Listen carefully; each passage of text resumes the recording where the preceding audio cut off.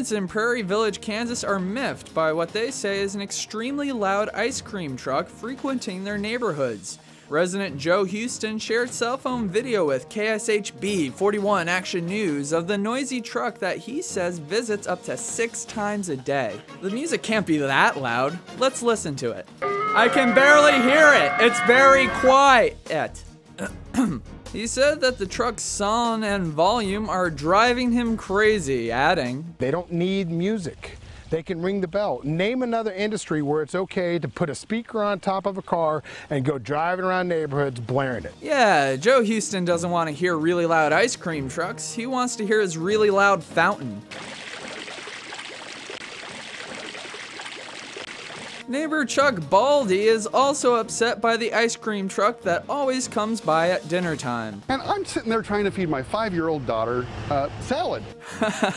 Yeah, and a five year old is totally gonna want to eat salad when they hear an ice cream truck.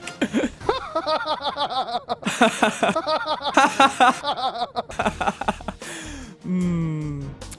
What were we doing again? Oh, right, ice cream truck story. Chuck is also annoyed by what he sees as a double standard because these ice cream trucks are allowed to drive around his neighborhood.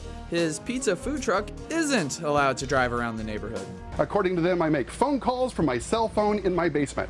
Therefore, I have to have an occupational license. But can I actually do business there? No. Uh, yeah.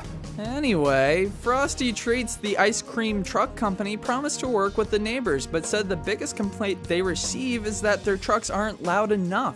I don't see how that's even possible. I think I'm going to side with Joe on this one.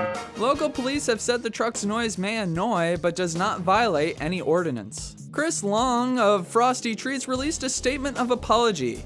Frosty Treats is sorry that we have disturbed Mr. Houston. Our intention is to always respect the privacy and property of the residents of Prairie Village. Responding to customer complaints is important. We too strive to make the Odd News experience a pleasurable one for our viewers.